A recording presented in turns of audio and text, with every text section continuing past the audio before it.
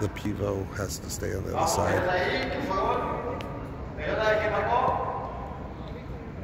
So it creates a, an attacking 4v3.